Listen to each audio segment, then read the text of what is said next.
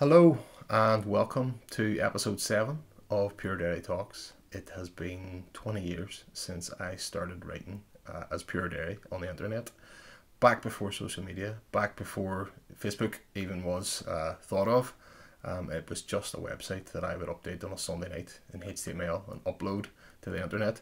Um, and it actually went viral on email uh, long before you could actually go viral on social media. People used to just forward links and emails. Uh, that's that's how old Pure is. but one of the early columns uh, on Pure was a column called Man About Town, and it uh, parodied a local journalist, come surfer, come broadcaster, uh, called Pat Markerson, who of course was a direct parody of Mark Patterson. And uh, back in the day, it was all for about a crack, and me and the contributors to the, the website just had, you know, um, just didn't, I suppose we didn't care back in the day. We were just anything was, was fair game, anything was open season, um, and you know it wasn't done cruelly or or with any malice. But I suppose because Pure was anonymous uh, back in that time, it was hard to really understand where the intention for those articles was coming from. So later down the line, uh, we launched the Pure Derry Forum, um, which was, I suppose, a chat forum that others of the public could get involved in, and it became hugely popular. And one of the threads on that forum started discussing local uh, characters, and one thread in particular started making fun at the expense of others, uh, not famous people, just private citizens. Everybody thought it was about a crack, uh, but it became a real point of concern for the family involved, um, and I found myself on the Mark Patterson show on Radio Foyle for the first time coming out to, I suppose, defend the honour of Pure Derry.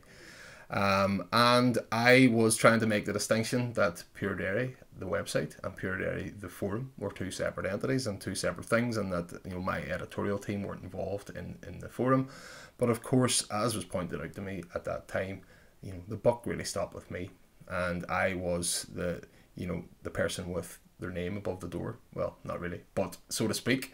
Um, so that was a real lesson, uh, but it also made for a very fraught experience uh, because we, uh, me and Mark, got really into it. We went toe to toe on the on Radio Foyle way back 20 years ago. First time we'd ever met, and him thinking this is the guy that's taking the piss out of me.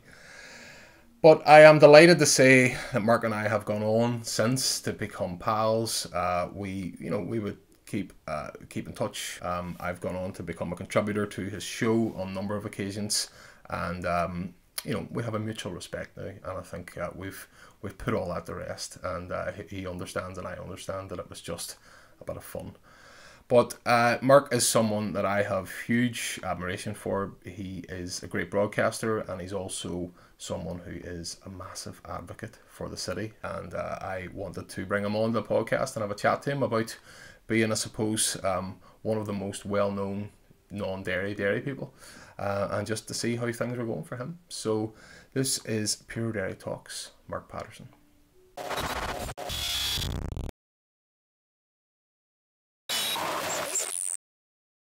This is like turning the tables. This is how many times have I been on the opposite side of this know, conversation, like across that desk in Radio Foyle, um, and that daunting experience of you're just like it it's so it's so disarming if you've never been in that situation before where you're like just sitting with these big headphones on with a microphone in your face. I, re- I remember that first time when we ever met.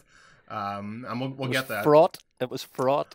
It was. See, I all I want to do is ask you questions because I, I know there's so much I know that people want to know about you, and you and I have got to know each other, right? So right. I I mustn't be, be the questioner here. I suppose it's going to happen. You are going to click into uh, Mark Patterson no, I'm not, mode. I'm not. I, I'm, no, I'm not. I, I promise. Are you sure? I promise. I... Is that a hand hat you have on the wrong way around? Uh, listen, Ciaran, we've got to be so careful in this interview, right, for protocols, because when it comes, you know, it's like product placement, you know, like hats. I can't describe what that hat is like, but you know, uh, no, I get that. Uh, the product. Is you got to be so careful. Is that, they, not, is that not difficult working for the BBC? It is. I, I can't do that product placement stuff at all, you know. But uh, you know, so let's let's just veer away from that stuff from the from the outside. okay, no, that's fair enough. We'll, we'll leave we'll leave it out of the leave it out of the. Yeah, out of the equation. Okay, out now, just completely. Throat here, just get the throat a bit of tea. Like you didn't, you'd never been in Derry until you were what age? What? How did how did you come to Derry? Twenty three. Uh, you you Pat Markerson this one time, and uh, you, your information was good. Your sources were good. I had been running about like a young fella, Ciaran. So uh, I'd worked in England. I'd, I was an outdoor pursuits instructor with canoes and rock climbing and abseiling and all of that stuff for a couple of years. But I'd, I'd left Queens because I was meant to go to study away overseas, but it fell through. But my mate was running YMCA summer camps in uh, Cumbria, so I got myself a job in Cumbria and just got into outdoor pursuits. So I was running around the world, early twenties, not around the world, like but trying to do my best to travel. I was doing a you're gonna Pat Markerson this. I was Ciaran. I was ice climbing in the Alps at the time, and uh, but it was. And my ma kept getting worried. My ma's in Lurgan, and she kept getting worried that I was going further and further away from home. You're what? You're going to Belfast to do the degree? What? You're going to England? And then it was, you know, the, the Alps. And I was like, and she kept sending me jobs, right? And I'd never applied for a job in my life. And this one came through for a Londonderry YMCA, needed a general secretary. And the YM had been in the city, you know, over 100 years and they moved out, Drumahoe, all the Exodus stuff, all that, of which I was completely and blissfully unaware. And I just thought, you know what, I'll do that for a year to keep A, to keep my ma happy. And B, I just got my postgrad in uh, youth work and community work. So I thought, look, you can't just leave that behind. So I came to Derry honestly because my mate uh, Brian Sweeney had had us up uh, to his house, knew nothing about the town. It was just, it was transformative. I really mean that. Mm. It was like, you know, you go to these great cities in the world and, you know, the original stoneworks there. And I thought, how can this be an hour up the road from my sheltered existence, you know, in Lurgan. So I came to the YMCA, set myself targets, and they wanted to sort of get the funding structure redone. They wanted to have a proper modern youth work program. So I was responsible for that, getting festivals going. There was like 20 something programs happening and really trying to get the YM back at the civic heart of the town. But I like to think we did a job, you know. So 93 to 99, I, I was in, I, I just got absolutely immersed in the life of the YMCA, 70, 80 hour weeks, the big rave thing. I don't know if you remember Infinity. There's yeah. a thing called Infinity where we got young people like raving for real and making money and sailing the Iceland and all this kind of stuff. And I never expected it. And then in the meantime, of course, the Troubles was tail ending the Troubles. So uh, invariably, they got a tall fella out in Drumahoe who can string two words together. So, you know, it, it got a bit silly. Like Radio Foyle said, oh, we'll, we'll send the radio car out. And then it was like, Radio 4 and then Paxman on the TV and all that there. And I was like, God, what did they ask me to do this for, you know? Because So, so hold on, because I've never heard the story. So, so you got asked to, to speak on, on a on an issue? That's how yeah. you kind of. Right. Okay. And yeah, joining that's... us from the community, all those, you sort of, uh, you know, your Ollie's and Chantallo, your Jeanette Warkes. I was one of those people. You were, like, you, were, you, you were kind of like like I am. I would like you would come to me for for, for comments on occasion exactly. on your program. Contributor, so you were doing, yeah. yeah. Very good. But, but when stuff was going wrong, so I was trying to do some innovative stuff on the sectarian divide, especially with young loyalists who were disenfranchised and. I mean, it was some brilliant stuff and brilliant, brilliant young people, but I was knackered, man, because I'd thrown myself at it. And it was really difficult, you know, with the all that sort of sectarian, post sectarian stuff, you know. But anyway, I've been dipping my toe, and then Column or Buckle, the great column, uh, mentor of mine, you know, basically said, You're working with young people. You should do something on Radio Foyle about young people. So I did this thing called Wall City Nights, which was just, I didn't know anything. So I just had a mic, he's a go up there and I went up on the walls, and young people were just so honest with me about their lives, their drinking, their fighting and arguing, the, you know, boys in the fountain, boys in the Bogside, all of that kind of stuff. And it went down really well. And I'll never forget the day uh, I came in here one day, Colin was editing, and I was going, Cheaper, I'm in Radio Foyle. And Gerry Anderson came up to me and says, you, you, that fella Mark that did that thing. And I was going, What? Gerry Anderson's just asked me, Am I your man? He said, and he, and he was so encouraging about it. And I thought, What? He's just, he's just spoke to me, you know, because you knew he was in about here, like you know, you knew this And because I was, you know, Queens and the Troubles. It was Gerry Anderson who really listened to it. It was like this incredible. You see him now for what he it wasn't his fullness like, but he's just mad and funny and smart and cheeky. and then I just got more and more immersed in Radio Foyle. I had no qualifications in the media. My degrees were nothing to do with media. And the boss at the time was a crazy goth from Sligo called Ana Leddy. And she was she was magnificent, you know, man's world. Anna just banged the doors down. And she says, you know, Mark, listen to that uh, documentary. Go in there, play three songs, and, and talk to three people uh, as a wee pilot. And at that time, Danny Kelly had been Mr. Kind of Radio Foyle daytime talker, and Danny had parted company with Radio Foyle. And she said, Do you want the job? I need an afternoon presenter. on the spot. 15 minute, 15 minute I- pilot. Yeah, I, I, all right then. and that was 22 years ago.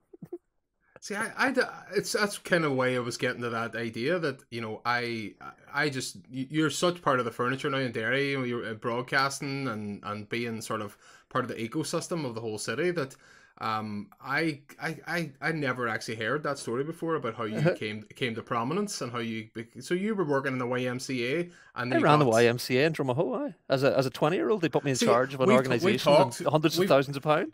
We've talked about the YMCA. You, you've mentioned it in several conversations, but I've never actually heard that piece of Yeah. connective tissue be, be, between how you moved Yeah. from you know doing that into the actual broadcasting. Well, I was able to come in as because I'd qualified then professionally in Lancaster with all that stuff about how to do really proper programs and how to do Mm. proper fundraising and proper recruitment and selection. So I- you know, I was able to establish a youth work team and employ full time people, part time people, voluntary people.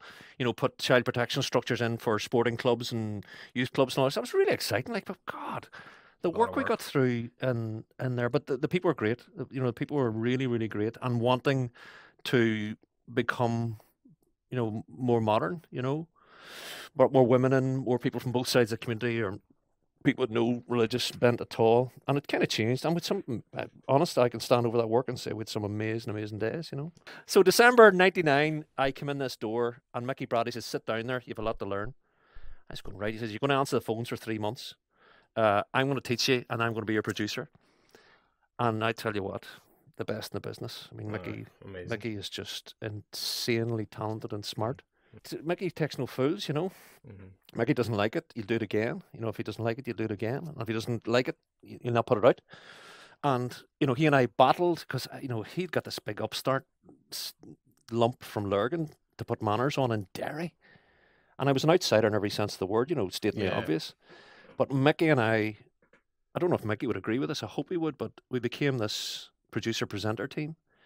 And you couldn't get a matchstick between us, you know. And Mhm. Mickey defended Radio Foyle, and you know, boys were coming at me for various reasons. I mean, I used to get threats and stuff for God's sake.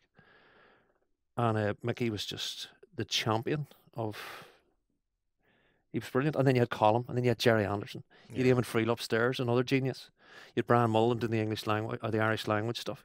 And you didn't realise walking into this, these were exemplars. If you were to find a better person doing funny speech radio, well, tell me who's better than Gerry Anderson. Yeah. Doing music, even to this day, Mickey Bradley, there's no better.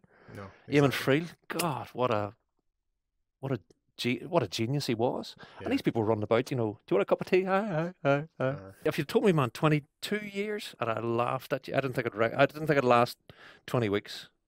that's crazy. But, uh, That's- a- and I think there's something in that, Ciaran, as well. When you don't, there's an awful lot of people media wise now. It's all like, God, I got to get on the TV and I got to gotta get on the radio. this. And Yeah. I had no, I honestly had no more notion. Yeah. You know, and I've taught media studies since and lectured and all the rest. And there's so much, and obviously, the, you, you know, doctors want to be doctors, you know, journalists want to be journalists, broadcasters, and all the rest.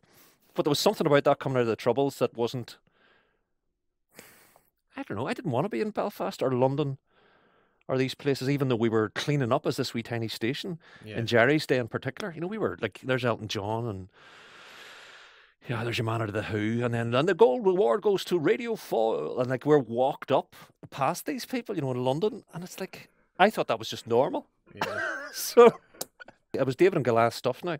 yeah. We were up against the big networks and all the rest. Latterly, it's called the Imros because it's the Sonys are no more. There's the Arias, which is a broader thing now, but in Ireland it's the Imros, and my program's done well on that, and their station's done well on that. Like so, don't know what it is. I think it's about the connection as well. Derry people take no nonsense, yeah. you know.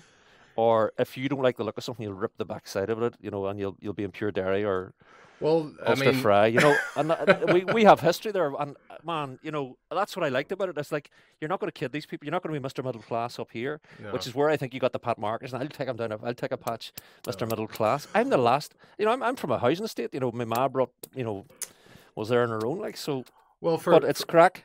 Well, for people, I mean, I, I mean, if anybody's unaware, I mean, I'm aware that there's different demographics of people possibly watching this and don't realize that, Mm. um, or maybe have since forgotten that, you know, back in the day when Pure Derry started on the internet, before we were even a face, the Facebook wasn't even invented. No, It was just a blog uh, posting up. We had a column on the Pure Derry website uh, called Man About Town, which had a which had a um, a fictional uh, local journalist called Pat Markerson, who was of course a parody of you, um, Surfer. and uh, surfer, um, middle class.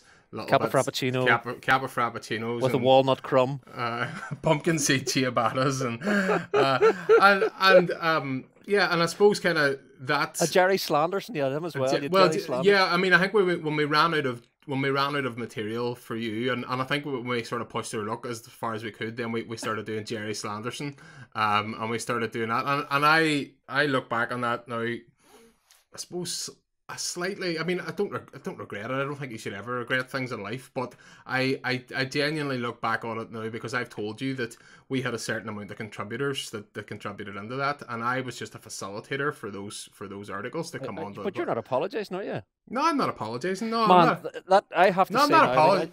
Yeah, but you and I, you and I, our our our initial meetings weren't uh, cordial. Let's put it like that. Even on Well- air, we had you well, on air, and we had a whole powwow. It was a great man, that background for work- that. That work uh, will go down. Mm. And I, I actually now, even though the Pat Markerson thing is a rip-off, I am so proud that I'm even that he's even thought of putting you know me in it or my, your version of me. Right. Kieran, it needs acknowledged. You're writing at that time as an outsider. Yeah. I remember saying to you, "Well, do you, do you let people know who you are?" Because I remember the grief you got. You know, boys Mm. coming after your mortgage, and you know, you know, you were saying some, well, difficult things. Mhm. But man, the writing was exceptional. I Mm. really, I, I want to acknowledge that it was, it was exceptional, and you were giving people a Gerry Anderson thing only in, in parody, you know, where people were just laughing their heads off at what Yeah. at what you were doing. So you, you honestly deserve great credit for that. Well, thanks. There you. Uh, thank you. Um, I mean, and, and you deserve deserve great credit, I suppose, for being a great inspiration for uh, for Pat Markerson. Uh, but it, it provided it provided it genuinely provided this kind of context to our first meeting, and our first meeting was in Radio Foyle, my first ever time coming on the radio, and there was at the time uh, a a forum called the, the the Pure Derry Forums, which was you know was a, a bulletin board, message board on the internet. And It was things, rough. things It had been rough. said. It was rough. It was rough. I mean, if you imagine your Facebook page and kind of multiply it by ten, there was something said about uh, a Well, gentleman, a well-known Derry character. a be very well-known Derry character. Yeah, And you and I disagreed about his representation, and Yes, I, and- I, I knew his family and all the rest, and yeah, we went toe to toe, and we got it all out there. that that created a kind of context to the first time we met, whereby I suppose there was that sort of awkwardness because I was also writing a website that was taking the piss out of you basically, and But you were coming out of the shadows as well. I think, and you, Mm. I think you were wanting to That come was- out of the shadows. I think I wanted to defend the work first and foremost, but I think you made some good points on on that as well that I've since taken away with me, which was that he was a private citizen. Mm. And it's funny that it's now something I defend against. Our, it's something now that. I, I take because I was only what age was I, Mark? I think I was only 22, 21, 22, That's think 20, 20 years that's ago. 21 years ago, 20 years ago. Yeah, 20 years ago. I think I think it's exactly You were 20 years writing. Pure Derry at 22 year old. Yeah, yeah. Wow. Can you feel proud of it, honestly? Can you, Of can you feel proud? Because I think there'll be people looking at that archive in 100 years and, and laughing still, you know? Mm. I hope so. Uh, yeah, I feel I feel really proud of it, and uh, and I don't think it's done yet. I think it's just evolving. You know, with all these types of stuff, the other things that I'm doing now at the moment, I think it's just evolving. Um, but I think I've another book in me, so Nice. um, yeah. But like, well, cheers, to, cheers to that. cheers. He was meant Uh, to bring this to my house and put it in the coal bunker, and he forgot. So we had to go all sorts of days for me to get this. All the other satirical platformed porcelain uh, devices are available, of course. Uh, exactly. Uh, from all from all good outlets uh, on the Come pure on, market. have you done your research? Come on, come on, Murray, let's have you. Since that initial meeting with us uh, in Radio Foyle, that your own Facebook page now has become kind of like this the, the center the central nervous system to your entire show. Um, You know, when it's kind of changed now from the from the original sort of because there's was nothing like that back in the, back at the time. There was no social media. size is just make it up and go, God, this is good. Let's do something stupid. So it's kind of evolved to serve the program more, you know. you know, I always kind of see pages like yours and to a lesser extent what happens on, on your dairy as well as a as a kind of litmus test for people's mindset and mood across the city. Well, it's a counterpoint, you know, and people are going to always think that. I mean, there were people when I was when we were chairing that meeting about well, what do we call this new bridge? The Peace Bridge. Oh my God, there were numbers of people in this part of the world who didn't want the Peace Bridge. You know, who wanted the money given to the health service, even though European central funding, you know, if you don't use it, it does not go to Alton You know, it goes to a bridge in Mostar, it goes to you know something new in, in Bulgaria or Paris. But I remember that, and people didn't want the Peace Bridge. You know, oh, you can't waste money on Peace Bridges. You know, so you're up against it all the time, and sometimes I think people get angry with me as the platform carrier or as the name on the tin kind of thing. Yeah. But you have to do your job and say, right, look, it, I, I might disagree with this person all day. But as long as they keep us out of court, you know, they have a right to their strength of opinion. I find it, I have to be honest with you, Ciaran, I find it really stressful some days, you know, especially if the heat is really on. There used to be a lot of sort of sectarian stuff that came up, and it was like, oh my God. And you would meet people out and about, you know, who would say, oh, that's your man, oh, you know and you're disliked on the fringes of, of both, you know, mm-hmm. because if you're doing your job properly as a BBC professional, you leave your politics at the front door, you do the job. And if you ask a question that's about, you know, uh, the Mute Meadow, for God's sake, the Mute Meadow, or, you know, parades or protests or and if you get into that stuff, invariably people say, ah, but you're this and you're that and you're this and you're that. I, Ciaran Murray would say that, you know, or you're your man yeah. Patterson. And yeah. it's stressful because you're genuinely trying to man, I take it. I honestly take it seriously. It's yeah. public service. We're not trying to sell anybody lemonade or mortgages. We're here because the people pay a license fee to have public service broadcasting. And it's only until you go around the world do you see how it's decimated everywhere else that you see how lucky we are. RTE yeah. similarly, you know, these are yeah. imperfect, but they're you, good when you've got co- commercial commercial broadcasters who are yeah. just you know doing it all selling papers, yeah, sell, yeah, selling selling airspace, selling ad space. Yep, yep. No, and I mean you touched on something that I suppose me and you both have um have experience with and can probably speak quite openly about is that sort of the public reaction to not only um not only stories that happen but to yourself and your own character when mm. these things happen. Like that thing that oh, you, there he's he's at it again. He's meddling. He's looking for engagement. He's yeah, winding he's people trying, up, winding people up. He's trying to do that. And I suppose from your point of view, you're known as a, as a type of broadcaster and a type of interviewer who will get who will get to the bottom of an issue. So, and I I've always loved that. I've I've I've always well once I once I got that initial blooding done that first day way back in, in, in Radio Foyle, I've always appreciated the I've always appreciated the um, that when you come into your show that you know that you're going to try and find a way to approach this from a different direction because I think that's what makes it interesting. That's what makes your show so good. Um, is that you are able to try and find a counterpoint, try and find something uh, to to actually approach a question or to to ask the questions that others in the audience will ask, and, and it doesn't necessarily have to be your the question for your benefit. It's the question mm-hmm. for well, I'm only playing devil's advocate. What if other people say this and say that? You know. Well, it's I not think... even that. If I, if you're going to be respectful to any guest or contributor, you have to ask the questions that actually are relevant to what they're saying. You could disagree them all day, religiously, politically, socially, all of that stuff. But everybody has to have a place, you know, and I, am mm. very protective of that. Plus, it's not just you, you know your man on the Facebook page or behind the mic. You know, if it's not up to standard for professionals of decades of experience behind that glass. This is where I think I'm an advantage to you, Ciaran, mm. uh, because with great respect, you're a one man band. You know, you haven't got a producer going here, Ciaran. What's that there? Rephrase that there. You know, every word in here, every yeah. sentence, change that, yeah. uh, put that comma elsewhere, and producers going totally mindful of, of legal difficulties, quandaries, policy matters, briefings you know, I think people just say, "Oh, geez, your man just switches the radio on." I mean, the briefings in here are, are brilliant, and if I don't come up to that standard, yeah, you know, I have to live up to their standard every day. Not you know me just sitting here making things up as I go along. But that again, it's a BBC plug. I don't care. But public service broadcasting is about being brilliant, and they're brilliant because they come from every walk of life. If you think of yeah. newspapers, well, that newspaper sort of slants that way. You know what I mean? Yeah. Or that uh, commercial crowd kind of slants that way. But in here, we're all sorts and no sorts. Yeah. And everything, well, well not everything, you're human beings, but it's left at the door and it has to be. Well, of course, there's there's a lot standard. of people who there's a lot of people who would say that the BBC aren't. Of course, there's a lot of people who would say that the BBC lean Absolutely. on different ways and they don't. They well, it's, it's too, but it's too, BBC's too far left. It's too far right. Your yeah. man hates uh, loyalism. Your man hates republicanism. He doesn't like nationalism. Doesn't like unionism.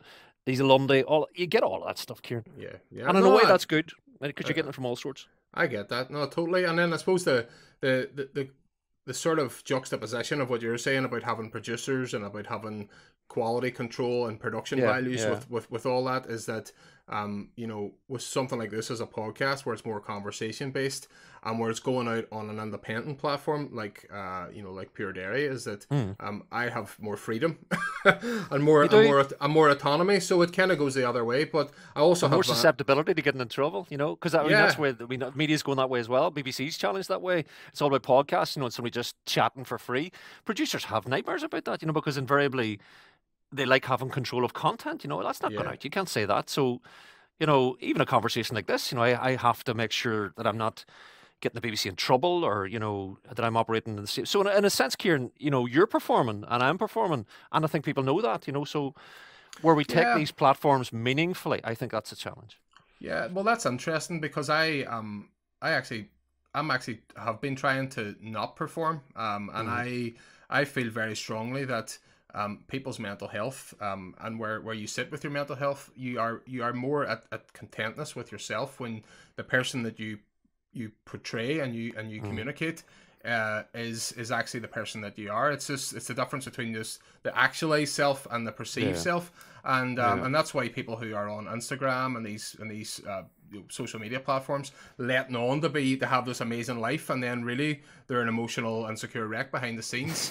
Um, and I, I actually am as authentic as I, as I want to be. I actually believe that this is me, and I, in general. But you're right there. But you can't be coming on there doing what you want. You can't. You mean if you were doing this totally yourself, you sitting in your underpants, you know? Well, I am um, now. Actually, hold on. All right, okay. Uh, you know what I mean? There's a, there's a line. Yeah, of me, I course, think- of and I think people understand that. There's the all People- the affect, affected stuff, the the beauty myth stuff, all of that stuff, and then you try to be as close to yourself as you can be. Well, I that's that's my approach. People think, ah, your man's an idiot. Well, sure, that's that's their thing. No, I don't think they do. I don't think, but I think there is there is a frustration. I I, I get that myself with when people can't separate the person from the personality.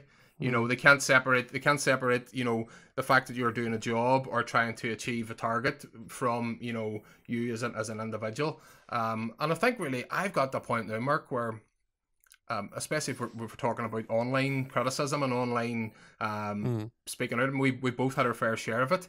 I used to try and ignore the negative and then go, oh, but it's fine because I've got like loads of positive comments. I've got a few negative ones and I'll just ignore them because that's thing. And and then I realized that well, that's not that's that's that's biased as well. So I'm at the point now where I don't I just take all of it with a pinch of salt. All of Yeah. it. I just be like, yeah, whatever. I got X comments and Yeah. everybody's whereas a, entitled- whereas a BBC producer, Yeah. and I can say this without fear of contradiction, will say uh, there's two comments coming in there. I think you're an absolute uh, idiot, and that we're down the Swanee with the wrong paddle here. Read them out. Yeah. And that's that's us serving that license fee pair, and I will read them out, and we Yeah. will absolutely, you know, not try to you know mollycoddle stuff. I hope. I hope. Uh, the TV looks great by the way in the background. It's coming through really well. Yeah, great ratings in that show. Yeah. That's a it's a still life we call it. Still Uh, there was a committee meeting. There's no I've no nose. There was a committee meeting about the nose. Do we give him a nose or not a nose? No- check your check your mug. There's no nose in the mug. Is there no? Oh, close up the nose. Right, I why have you not see. got a nose? Why, Because they just a- thought, look, put it up right close. Yep, no nose. That was a That- committee decision. The British Broadcasting weird. Corporation. That's weird. That is weird. You've no nose in your mug. Uh, and your and your and your and your avatar. How do you smell? How do you smell? Awful. um, I've completely lost my, my, my trail of thought now. But I anyway, we're chatting. We were chatting about um online criticism, how you deal Yeah. with it, and I kind of, as I say, I've I've come through full circle. There used to be a time in the past when that stuff really affected me. Um, you know, and it would have But it's been. upsetting because it's real. Mm.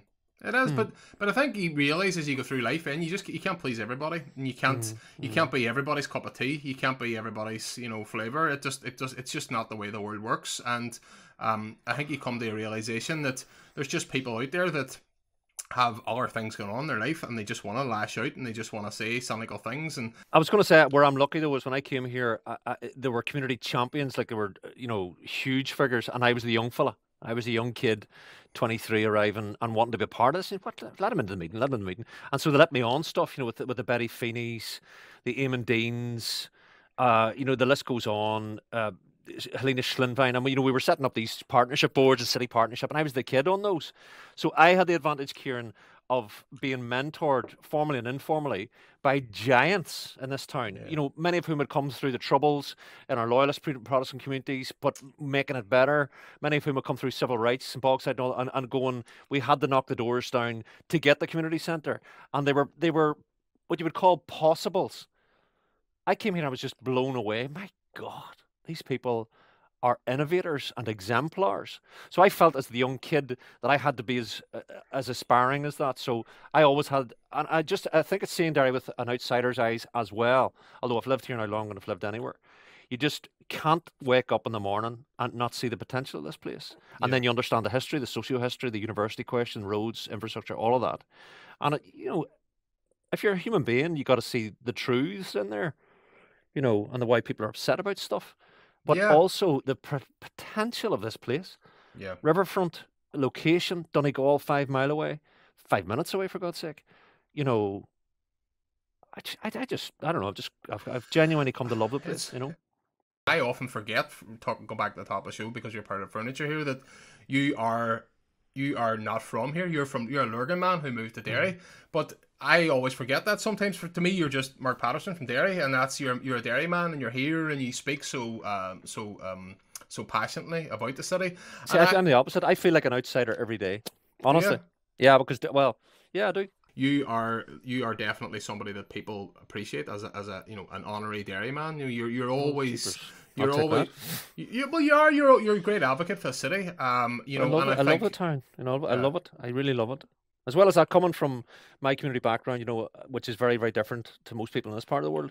I think when you get it, and you know, I've I've spoken to you know former loyalist paramilitaries about this stuff. I've spoken to Republican guys and all the rest. But see, when you get the Derry thing, and when you get the Londonderry thing, and the passion of it, and why it goes so deep in people, I actually find it profoundly moving because then people go, "Do you remember up in the Glen? You know, if you go up, I mean, if you go up Rosemount now, all those streets are named after Methodist preachers. Do you remember the uh, on the wee, on the flats are was a Methodist church, and people are starting to. Do you remember Ep- Epworth was it Epworth Street? Epworth, all that stuff? Oh, Epworth Hall. You know, remember remember when all the Catholics left? Remember we lost our Yeah. Catholic neighbours? Remember when the Protestants went over the river? And you get this, my God, it's heartbreaking. Yeah. But it really, I think when you get that, uh, I, I, I honestly, I find it profoundly moving because you realise how much harm was done, yeah. but how Yeah, at the heart absolutely. of people was was an amazing community. Gerry's documentary, Gerry Anderson's amazing documentary about old Derry. You know, God, I you know. Yeah, the, the integration, the sense Yeah. of community, and all that seemed to disintegrate and sort of yeah. evaporate when Taken, yeah. when the troubles kind of uh, hit their height, and it's a it's a real shame. And people, you know, people don't, you know, we're in such a a kind of mindset that we're we're pushing for whatever brand of politics that we want, but you know, Mhm, we don't often think about what we lost. The But there was a, community. there was a girl, a lady came on, and uh, she, she didn't want to go on the radio, but she said, "You know what's lovely? You know the new cafe in Brook Park. What's hap- What happened was, was it Big Dalton was saying that some of the families, the Protestant families, had moved over the water, Kilfennan, uh, but they were coming back, Ciaran, uh, to the wee cafe to have a cup of tea with their old neighbours. Ah, You know, maybe having kicked football fifty years ago, seriously. troubles, but then people going, "Actually, I'll meet you in the week. Aye, grand, sure," and it's not an issue. I just thought that restoration. Oh my God, beautiful. Uh, that's, that's that's that's lovely. I suppose that's kind of what this podcast about. This podcast is about a Brilliant. wee bit, wee bit of connection, a wee bit of sort of reaching out, and not only having conversations with people for my benefit because I don't bloody see anybody because I'm stuck at home all week, but also Mm. with the wee lady, with the wee lady. with the wee lady uh, who's Hi, up on uh, a, there she is. paternity, paternity suits you, man. I've always wanted to be a dad, so it, uh, Really? it came it came at the perfect time in my life, you know. Right, right, so, right. aye, um, but um, it uh, I've completely lost train of thought now. What we were saying? Oh, mental well-being. Yeah, Yeah, mental well-being. I was gonna. I wanted to ask you. You posted up a wee video, and I'm we're friends in Hmm. in real life, not just on things. So we, we know each other. We're on each other's Facebook pages. Um, Hmm. and you posted up a wee video at Christmas, um, and I found it profoundly touching. And I don't want to give anything away, so it was just kind of you just sitting, and you were just kind of talking to the camera direct, Hmm. and you were just like you were on your own for Christmas Day, and you were talking about the challenges of being on your own and Yeah. about essentially struggling with uh, your loneliness and your Yeah. and your um and just getting through this pandemic uh on you know going to work and coming back and not seeing people and losing that sense of connection. And I have to say, I, I, I, I was just enthralled watching it, thinking, you know, it, it spoke to me because I live alone as well. Um, you know, we, we, we don't necessarily, we, me and you kind of work in similar kind of spaces and that we're you know we're, we're communicating and publishing content or putting out content. Yeah. Um and content I providers Stuart content providers us. that's all we do provide content. Yeah. Uh, but I, I i i resonated with a lot of that stuff. So how i mean in terms of the the mental health side of things how have you found the last the last year? Or how you, how are you finding it? Tough. Tough? Tough. Haven't seen my man down a year. I'm hopefully going to see my ma if they uh, let her come up at easter my folks are, you know, they're not 21 anymore. Uh, but man, I, I find it tough. But then I also, when you see and hear what you see every day, I know there are people who don't take, I've got different views than me, put it like that, on vaccines and COVID and all the rest. But, you know, I think when you're able, I'm able to do it solo. And, you know, I have friends who are doctors and nurses and trust people and all, Ciaran. And you know, there are people, and I was counting it up the other day. I haven't lost anybody. Have you lost anybody like in your immediate circle to COVID? Immediate? Not the, not the COVID, no. Well, you know, you got your immediate circle, mm-hmm. and then their circle's the next one out. So you're in my circle, but then yeah. the person yeah, in your circle. Yeah. I think eleven or twelve deaths. Really? In in my circle's circle. Thankfully, you know, nobody in my, uh. you know, my family or friendship, immediate groups, and I just thought this is serious, you know. I'm, man, I haven't been out. It's a year now. I've been out three times in a year. Felt great in two of them, and I felt a wee bit edgy the other, and I haven't been out since. Walked maybe six times with friends at a distance, and that is it, man. You can nearly forget in circum. If you didn't do the radio program, you'd forget the English language how it worked. Yeah, it's you're you're you're taking it especially serious, but then I yeah, because you, I can. You... you know, I mean, if I thought that I was making one nurse's life easier by not taking you know a risk with COVID, you know, I, I could look at myself in the eye, you know. Yeah, I've always you know other people that... can't do that. Other people got wains and elders to be about, you know. So I think it's incumbent on those of us who are able, you know, to to, to really take it seriously. You know, yeah, to do it. I I feel the same. I yeah. you, have got an obligation because you can to do it. And, Absolutely. Uh, and there's as you say, there's others who in the, in the privileged positions that you know, some of us are in to uh, to be able to stay yeah. at home and stay out of the way. So no, absolutely. And because we're public service, you know, I have a job to do in here to keep it going. It radio, everything changed in here. This is like a hospital these days. I've got this room to myself. I mean, Steve McCauley's meant to be in here with loud rockers and stuff. You know, there hasn't been a guitar played in here for a year. So I realised this was going to be a, a tough old haul. And then you're going, cheapers, you know, but relationships, companionship. I'm sure you think about that as well. Mm. Midlife crisis, that's probably a bit of it. But then I realised you know, this is going to be a haul. This really is going to be a haul. Uh, so Christmas, you know, that wee video we're talking about, it just, I don't know. I was just thinking, right, you, you could sit and mope all day, and you've every reason to mope, you know. Uh, but I just thought uh, uh, of the people in my life, you know. But it was Um, I have a very close family up here, you know, old family, uh, uh, old friends, and you know, I always do their daughter a, a ham, and she doesn't eat ham, but she eats my ham at Christmas. And right at the front door, and we exchange gifts, and I just said, look, I don't care. It's not worth it, you know. Uh, one of them even getting sick because you know we, we have to have a turkey dinner. So I took that decision, and I, um, so nothing Christmassy. I just wrote it off, Ciaran. I'm actually what I, what I want to do is have a full turkey and ham dinner in July or something in the heat, you know. Mm. But daily, man, it's tight. It's you know it's tight because in this job you see the best of stuff. You see this town aching for a tipping point, and I think when it comes, and I think you agree, Mm. you know, we're the last city of standing in this island. You know, uh, Cork is away, Dublin's away, Belfast's away, Galway's away, Yeah, Limerick is doing grand. Derry's the last one left. I want to be here to witness. I hope I live to witness that. yeah, me too. But I just think it's a year, especially for people living on their own. And I've really come to think about this. I, th- you know, you think about other people living on their own. Mm. You know, we neighbours up the street and that, and it's done wonders for our wee street. You know, you're dropping community. food round to a friend or friends dropping something at the door.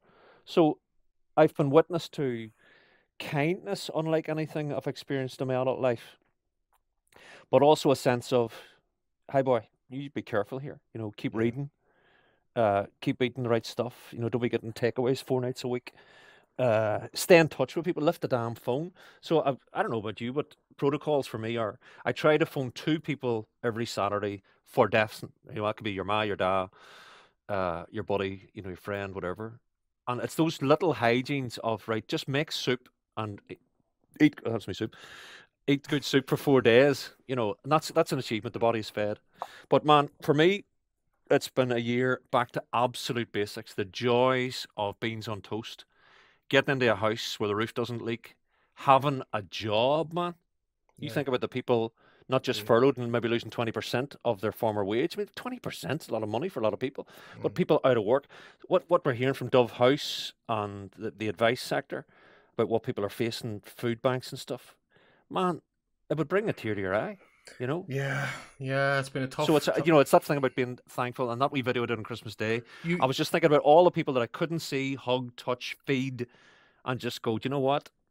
Yous are amazing, and my life is uh, my life is blessed with the friends you know that I can call you know true friends. But uh, you know, hopefully most of us can Well, that. you know, I I find that interesting as being someone who is your friend in real life, and Mm. you know, and seeing that we talked about the person and the personality.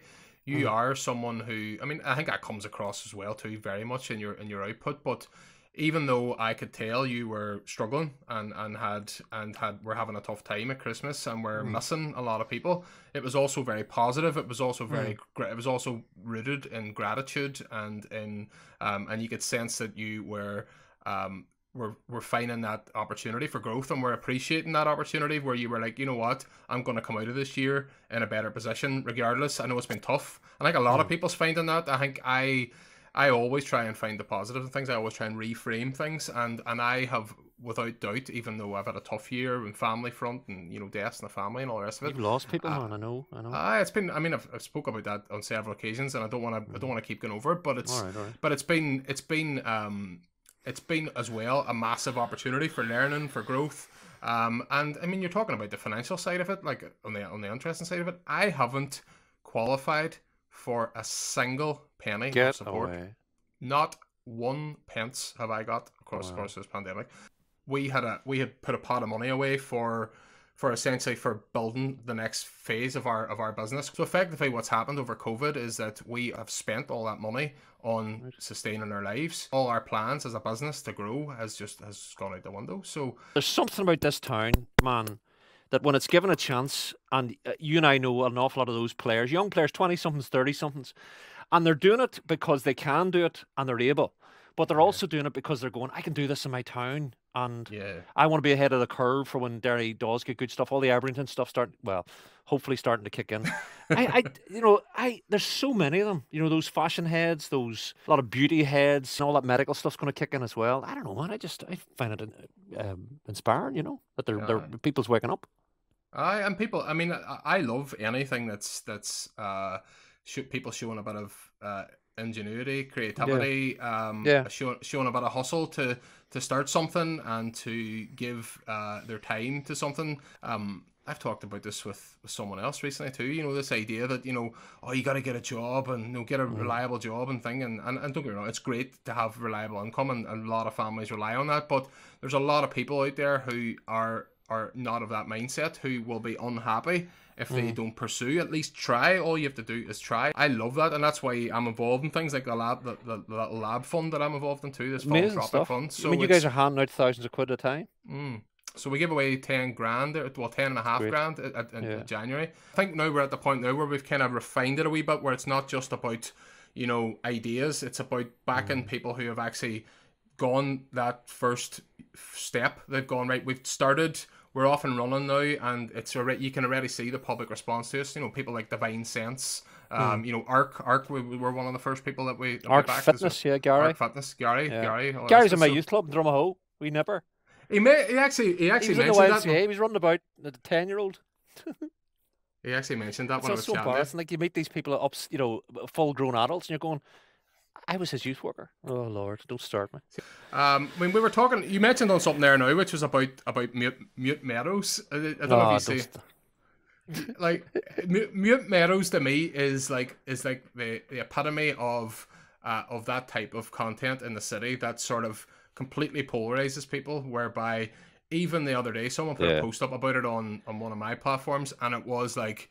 It was loads and loads and loads of comments because people just want to feel so much outward hatred towards it. Have you gone and seen it at night on a good night in the summer? When it's lit up, it's beautiful. It's breathtaking. Mm.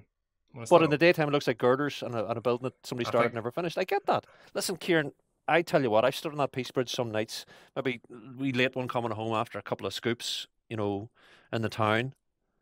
And I just stand, man, and the, the jaw drops, you know, because if you look at it from the right place in the Peace Bridge, the sort of lights, you know, hit the water, and Yeah. it's like this magical scape. Maybe too many scoops, but uh, I like it, man, because it's it shows Is- I think somebody's it's- going. Do you know what? I'm going to do something that nobody's expecting us to do. I like that. Yeah, I I mean, look, I I have been um I suppose critical of it, but I think my point I was trying to make is that it's it's 10 years on and even if you Yeah. don't like it or doing it and I followed up with another post after was saying that, you know, look at the surrounding area, look at all the greenways, look at the Peace Bridge, look Mm. great. at all the connective tissue that's being built around the city. How about we focus on the positive stuff? How about we focus on the successes, not on the failures? I mean, that was the, that was the basis of all the early Pure Derry was focusing on failure, you know. And my mindset's completely shifted now to focus on success. Um, Well, that's and I- good. But I get that that must frustrate people as well because people want you to be this kind of scurrilous, skeptical, um, you know, commentator that's going to hold people to account and all the rest of it. And there's only so many hats you can wear. And for for this phase of my life, I choose to wear the hat that is about um, positivity and about attracting people through um, through Yeah. actually good commentary as opposed to as opposed to on occasion, But- on occasion when you need to hold things to account.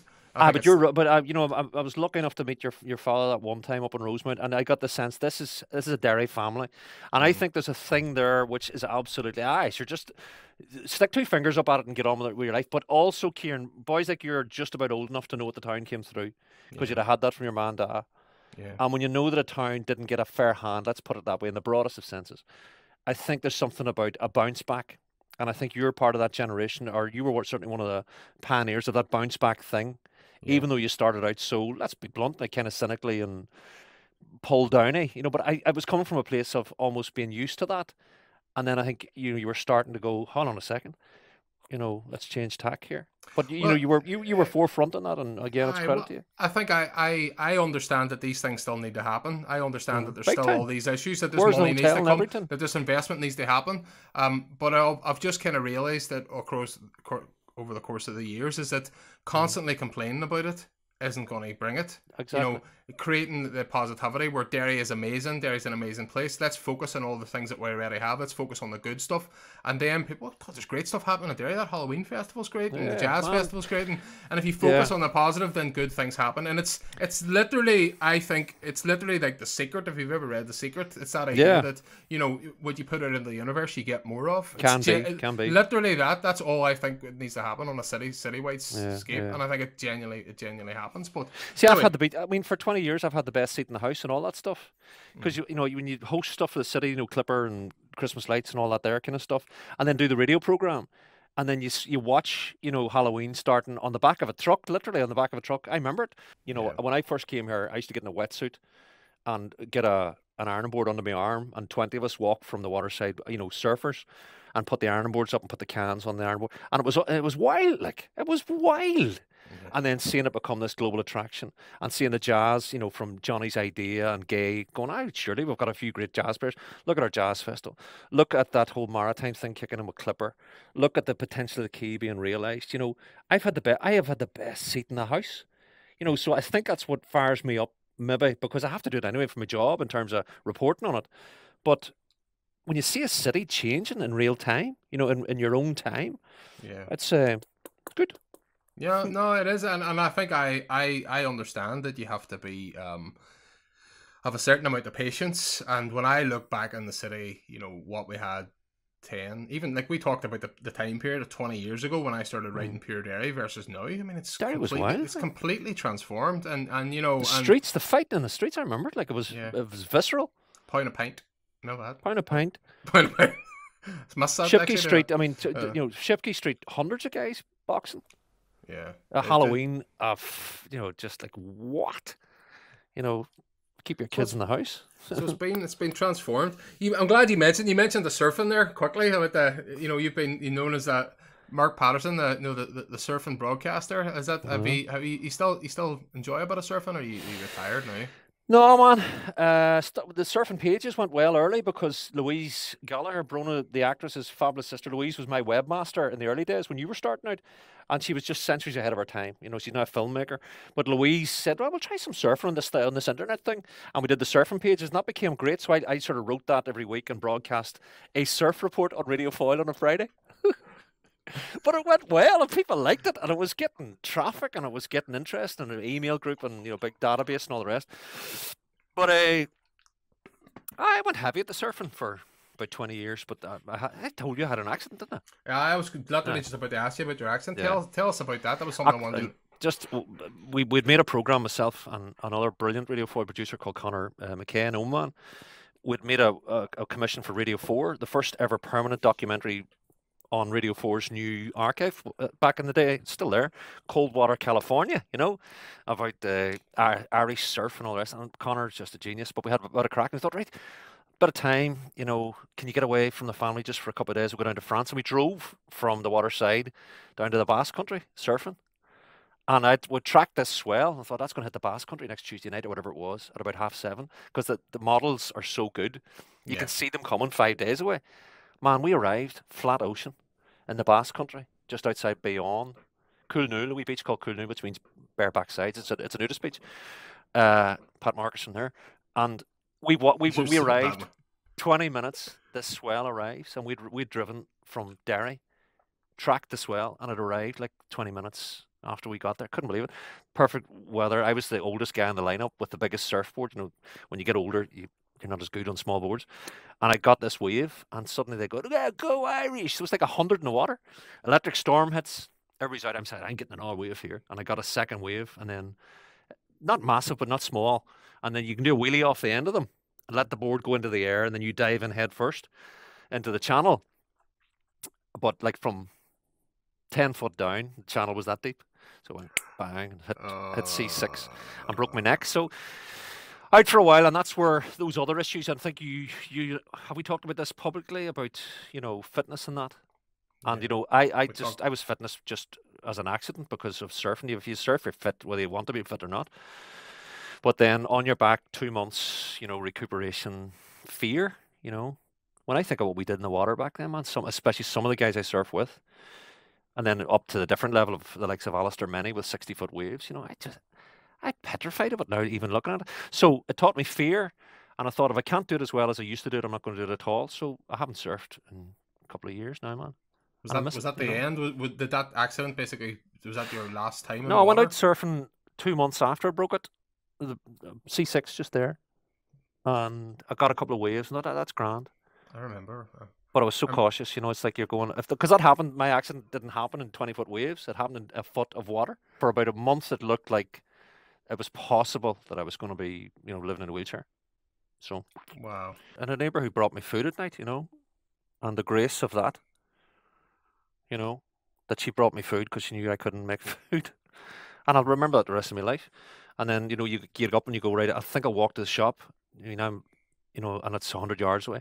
And then I'll walk to the Peace Bridge, maybe ne- tomorrow or the next day. And I'll walk over the Peace Bridge. And then I'll walk over the Peace Bridge and meet a friend for tea or a cuppa. So it's you just got to rebuild it that way. So uh, incredibly stupidly unlucky and incredibly fortunate in terms of it. It just healed itself. It just closed over like a crab's claw, like that, and it didn't need surgery. So wow. ridiculously lucky. Uh, you were, were lucky. So, Mark, what's what's next then for um for Mark Patterson's show? I mean, what's next for Mark Patterson personally in terms of what you're you're broadcasting? I mean, are you like I, the quality and the standard of the stuff that you're doing in the city, regardless of um, you know, I think it gets compared sometimes to Nolan because it's that type of show that sort of tries to talk about the issues and talk about some of the grassroots things happening. Um, and the um, good stuff, hopefully. And, the good stuff too. Yeah, of course. I mean, it's way more positive than than, than he is, without mm. a doubt. I don't get to, you don't have to prove that to me. I mean, um, have you you talked about Radio Four? You talked about all that. I mean, have you any other any other things in the pipeline that you're working on? Are you, um, are you now in your wee content place of contentment now, where you're I started out doing doc- that document, and I did a couple of documentary series for radio for Ulster and Foyle, and I loved that. But Ciaran, you get to an age, honestly, uh, doing this every day, it's not like lifting potatoes or building houses, but mentally it's it's tiring. And when you're doing a five day a week, it's almost like creating a newspaper with language every day. It's a new narrative, can never be the same, can't do yesterday's stories. So uh, my team are exceptional, and I'm not just saying that. I mean, most of them are younger than me, and they're Derry Donegal heads, and I just feel I have to make it my business to put it as high a standard as we can and make it as knowledgeable, informed. Hopefully, it's a bit of crack uh, as well. So, Gerry Anderson taught me something very, very, very, very early because Gerry had gone over to England. Was it Radio 2 or Radio 4? And the tabloids in England uh, just lambasted Gerry, And he came back kind of to here with his tail between his legs, back to Foyle, stayed in Derry. And then the Ulster gig came after that. And Gerry said, it was along the lines of early in my career, he said, listen, whatever you're doing, it's kind of connecting, you know. And, and I was green behind the ears, Ciaran. And he, he says, you know what? He says, there's so many people in this industry that never connect at all, you know, just go through the motions or whatever. And, you know, if he's right or wrong, good luck to people. But he said, you, whatever you're doing is connecting. He says, and it, you don't, he said, along the lines of, you don't have to go to London uh, to connect. And if you're connecting, don't ever underestimate that. So I just always thought, you know, somebody has to do a job here about writing this narrative. It's only a daily radio program, but it's more than that, you know, in terms of documenting stories from their inception to the completion of the Peace Bridge or Ebrington Hotel or whatever, or Halloween or whatever. And I honestly am starting to think about it as my life's work. I'll probably get sacked next week, but uh, I'm starting to think, and people are telling us, you know, that it's meaningful. You know, that yeah. people spot the difference between our nonsense and stuff that's trying to be thoughtful, compassionate, informed, entertaining. And man, I love it and I don't uh-huh. I don't need to be on TV. I started in TV kind of with Christine Bleakley way back in the day, and she was brilliant at it. Like, and you know, it was me and her. You know, I would be the boy jumped out of the airplane, and the boy went surfing every week. And now Mark's going shooting clay pigeons while Christine was just being fabulous. And I said, uh-huh. Christine, you're brilliant at this. I can't stick this. You know, it's like all day for five minutes on the on the yeah. TV. Yeah. Whereas the radio, especially on a day when stuff's happening, Ciaran, ninety minutes of effort is ninety minutes of content and then stuff happens like the passing of John Hume, and then for three days things change. Then a pandemic kicks in, and you're going right. What do people need? And it's not like you're you're bringing care packages, but intellectually and psychologically, in a way, it is. And people are telling us, "I don't have the internet, we yeah. pensioners, but I listen to you," and you're going, "Do you know what? I, I can be proud of that." You know. So I don't I don't want to be on TV anymore. I maybe want to write before I get old or too old. I think I've got a couple of books which might be absolute rubbish. I'd maybe like to do some more documentary work, but man, for now, I, I've just come to. This is going to sound really twee, man. I don't care. I've just come to feel it as a privilege because the people largely mm. have trusted me. You know, at the start, I wasn't very good, and I, you know, I really wasn't, and I didn't have a clue and it was producers like Mickey and Colin who guided me through the architecture of Derry. And then, of course, you start reading about stuff and understanding stuff and meeting people.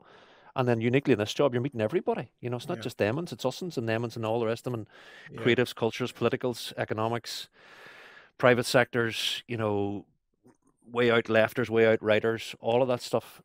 And I just, I'm profoundly, I'm profoundly grateful for it well, every day blank screen, guys. What are we doing? What, what do you think? Oh, well, I have an email. Well, what are you doing? La, la, la, radio program. All the program. Man, it's good. Uh, of course, it's good.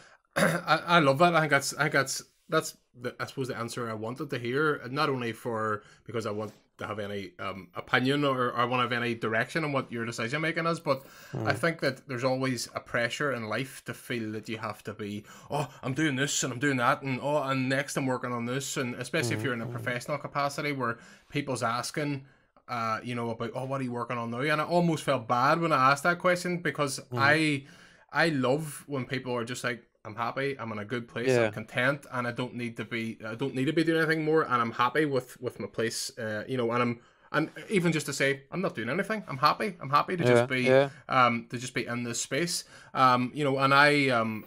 I moved home to Derry and I decided to make, you know, that this was going to be my home and, and I am, you know, I'm I'm obviously, you know, always trying to look for different angles and ways to do things. But essentially, I'm looking for that space as well. I'm looking for that kind of. Um, Mm-hmm. I just want to be uh, my true, authentic self. That's But, all but I'm isn't trying it? to But do. Ciaran, look, and it's not about you know being all oh, aren't you fabulous? But isn't the town better for you? You Mm. know, not just the satire that people rolling about the place in desperate times, but then Pure Derry kicks in, and your dairy, and then the, the the granting thing, and then trying to go right. What can we do to make this town? You know, you know, isn't the town better for having you? You know, for me, I, Oh. d- I, I will always feel the imposter thing. I'm a Hallion from Mourneview too. Lurgan. I felt a Hallion in Queen's University. What? They're letting me into Queen's University. I felt a Hallion in England. I felt like what? They're going to give me a YMCA to run.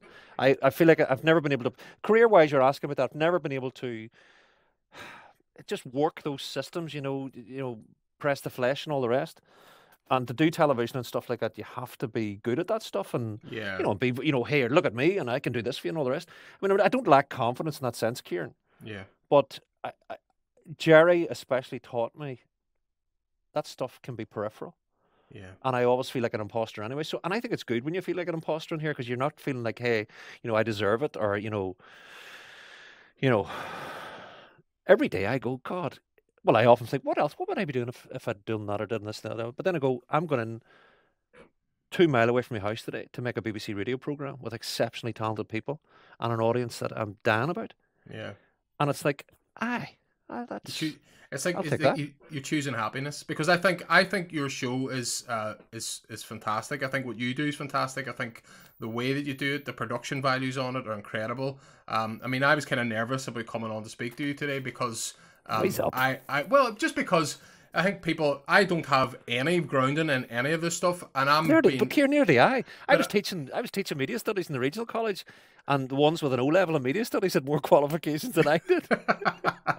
uh, well, I think that's. I think it's just having the. I think it's just having the. Um, you know, the nerve to just try and do it. And I'm. I'm. I'm being very um open about the fact that I'm just learning in public. All this stuff, like uh, even the production values of these podcasts as I'm putting out.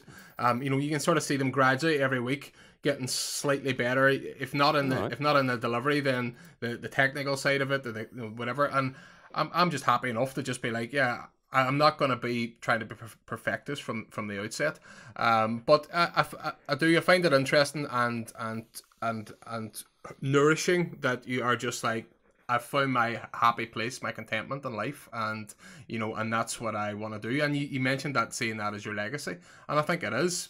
when you're lucky to get a gig, it's like you find a job you like, and never work again. And it's, I, I, I'd never, I've never been nervous about it. I get nervous in front of people, you know, doing things with a microphone outside and stuff. But I don't get nervous in this, you know, because our teams are so small here. You tend to get very, very, very good people who Yeah. want to stay here and have made their lives here. And I could go on the list, and uh, it's even our front of house people. You know, Gerry's right hand woman, Jeanette. Jeanette gets me more stories than I get on emails. You know, you know, we make a point of whatever, you know, a couple of times a year to play Gerry. And it's like you just think he's just going to walk through the door. And it was wee teapot. Gerry was always like, if the you know the, the star, you know, everybody wanted to meet Gerry. Like, and the rest of us plebs were just going, "There's Gerry. I, I work with Gerry. You know, I work with Gerry." And but I, I used to love it because Mickey and him were thick, obviously, and Mickey latterly produced Gerry. But Gerry often. Uh, when we were downstairs, you know, upstairs was always busy because it was all the news stuff and really, really, really, really hectic. And Gerry had a wee teapot in here, and he used to make tea every day and steal your buns. Never brought buns in the bugger, but but he would come down just and sit at the desk beside me and read the papers and know nobody's going to have a word with him because nobody bothered with him. And he did that, you know, for years, not every day. And I mean, Gerry and I weren't buddy, buddy, buddy buddies, but you know, I, I, I just, I, you know, I worked in the same building as Gerry Anderson, Mm. and I saw what he did, and the, you know, just there's nobody, I, nobody like him, you know, Yeah, nobody he's like. him. must, he's. I love this. Remember the way I was actually wondering that when you were showing me the cup. Was do you remember the wee Flicker Picks cartoon of Gerry? Well, that's where I was the first. I Is that- got that because Gerry had done the cartoon. So Right. then, when everybody was looking for merchandise, I said, "Well, what can can the boy that did Gerry's cartoon on the radio that- uh, on the air? right. Can he can he do a one of me?" And then he did one of me, and then a load of them have got them now in terms of uh, flicker picks. Uh, what do you call the guy? Exceptionally talented guy, Joel Joel Simon. Joel Simon. Joel Yeah. Simon, that's him. I, I actually know people who used to work for Joel, so I would work in similar circles. I can talk to you, you know, openly, which is nice, you know. Well, I'm not. I'm not an interviewer. I'm not trying to approach these like interviews. I'm trying to. I'm trying to approach them like conversations. I don't want. But I would worry about being interviewed by you probably more than prob- you know media people. I feel more comfortable when it's just a conversation where it's just two blokes Yeah. chatting about stuff and we're just taking the conversation wherever it wants to go. Because I used to, I did the first few and I had like a prescribed kind of ask us, ask us, ask us, ask us, ask us. Yeah. And it, it felt very forced and fake. Where Mm. now I'm just like, I'd rather just let the conversation take its own shape and see But where, Ciaran, where it fair play to you. You know, you're always looking for the other platform, and I and I think at the start you and me were sort of Facebook wars. You know, who can get the most, who can get the most, who can get the first million posts, and all the rest. Uh, I'm o- I'm honestly over that stuff now. yeah. You know, what? remember the time it was well, you were first, and then it was uh, the Rice Bowl, Right, and then the Dar- Derry Journal kicked in, I kicked in, and then Big Pat Ramsey kicked in laterally, and that was Yeah. it. Like that was local media. That was that was that was the that was the the, the, the media um you know That was it. ecosystem in Derry. Pat Ramsey, Rice Bowl, you, Pure Derry, Pure Derry. aye, and there's The a- and, and, the, and the journal. you know, fair play to you because you're you're always you know it's a generous thing of you to do. You know, you're not getting you know corporate money for conversations like this, but I think No. it, it speaks volumes about your passion for your town. You know, and that's what I love about social media as well because it's a leveler. There's no stars. You know, this notion of stars and fame and all the rest, of all TV nonsense. You know, that sort of aren't we all beautiful thing. You know, people Mm. know that that's a nonsense, really. Like. Yeah. So I like I like what you're doing. You know, I really like that you're leveling and asking important stuff about daily life here. You know, and, and, people getting on because it helps. I mean, it helps me. Yeah, know? I, I think, and I think people, people, it's nice for people to hear of uh, from people around the city, people who they're, they're they've either you know know of um, or possibly don't know of. I think you know you don't often get the opportunity to speak as yourself, as you know, uh, no, Yeah. without interviewing somebody else. Um, and I think there's a lot of people's stories out there that don't get told. Well, I'm lucky though. I mean, I'm not in any way defensive, but you know, because I can be curious about developing Derry, I can cross that commercial line at times to go right. Here's a business that is doing something which is important because not because they're selling, you know, deodorant, but because there's a great Derry story here. So I, I'm Yeah. lucky I have a wee bit of freedom there, but not as much No. as you. You know. Well, of course, and you, I mean, you've afforded it to me on, you know, on recently on the on the, the likes of the Pure Derry Market, which, uh, which by the way, folks, launches on the 29th of March, uh, Monday the 29th. Uh, yeah, where I would, I mean, I would like, as maybe our conversation nears an end, uh, I'd like to challenge you about the next thing, which is about power. Mhm. So there's podcasting, there's content, but there's power. And I've challenged you and other principals that I see in the town that Mhm. it's, uh, if the politic isn't working, maybe you think the politics here is fabulous, by the way, maybe you're very happy who you vote for and good luck to you. But if the politic isn't working here in, the, in our communities, surely it's for you, the thinkers, the innovators, uh, the people who want to be free of the stuff that maybe kept us back and kept us apart. You know, I think the next move there, past podcast, is politics.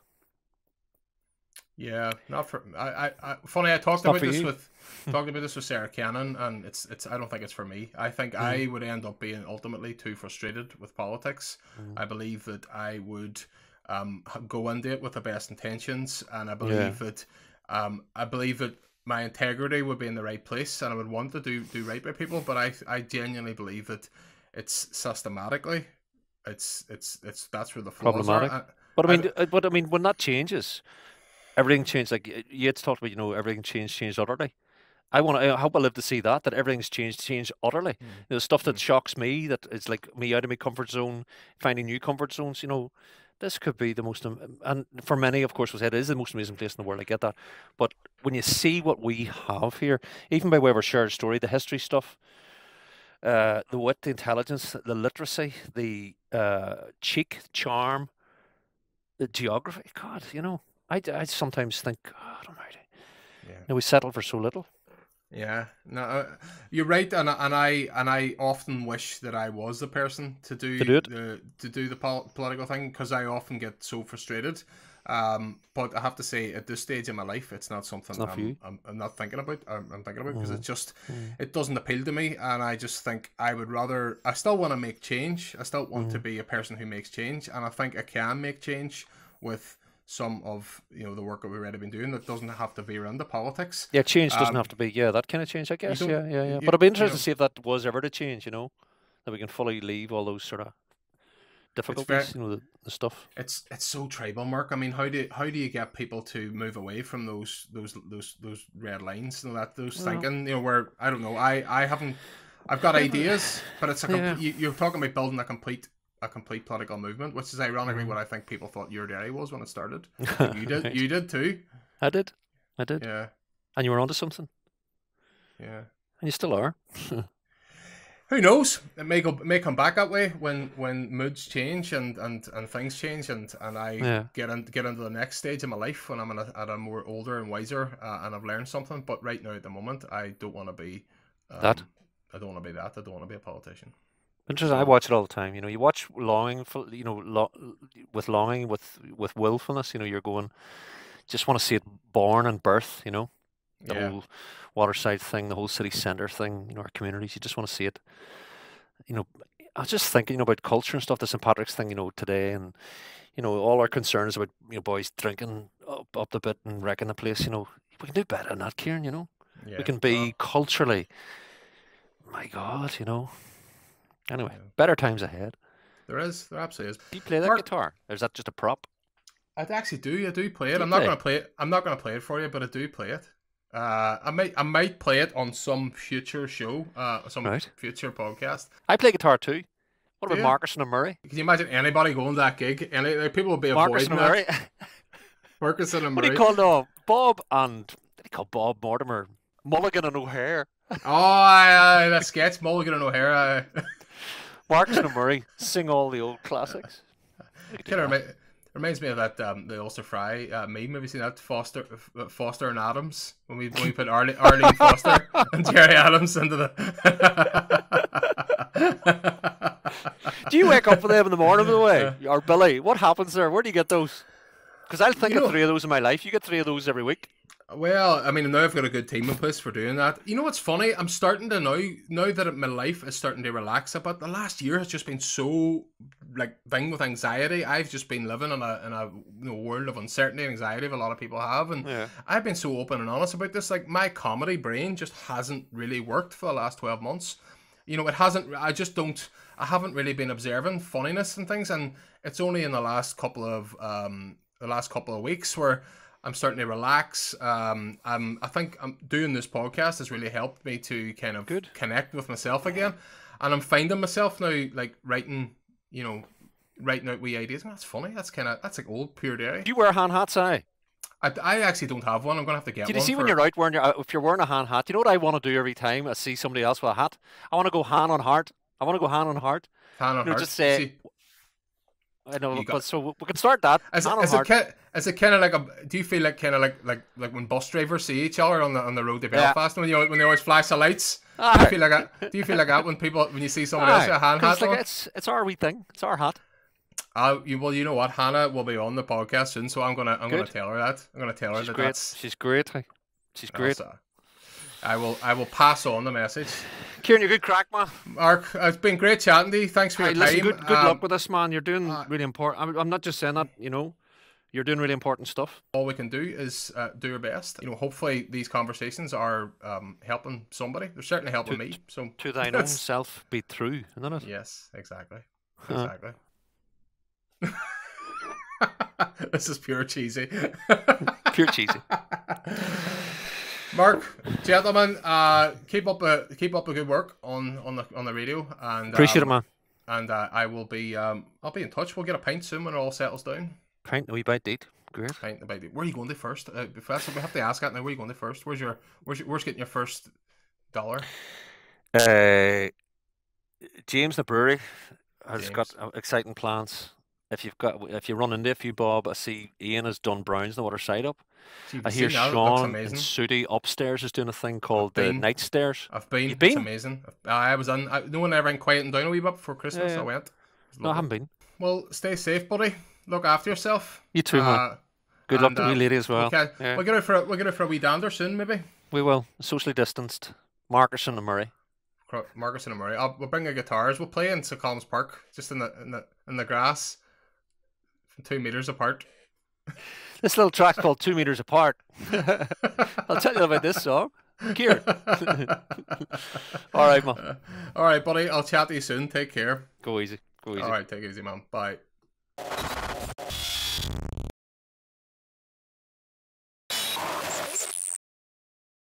That was really interesting. Um, always good to talk to someone that knows how to talk, uh, even more than I do, uh, because I get to shut up, which is always good. Uh, next week, I will be speaking to the one and only Mickey Doherty. I've been trying to get him on since away last year. Actually, uh, Mickey was probably one of the first people that I ever asked. And me and Mickey have crossed paths on a number of occasions. We're not we're not close friends, but we have a couple of interesting wee anecdotes that we can tell. That uh, one in particular on Pure Derry, where um, I am totally going to throw myself on the bus for. We're going to put it all out there and have the crack about it. But I have massive respect for Mickey, and sure who doesn't love Mickey Doherty. So I hope he's a tune in for that. I hope he turns up. Now we haven't recorded it yet, so if there's no episode next week, uh, Mickey pied me. So let's cross our fingers.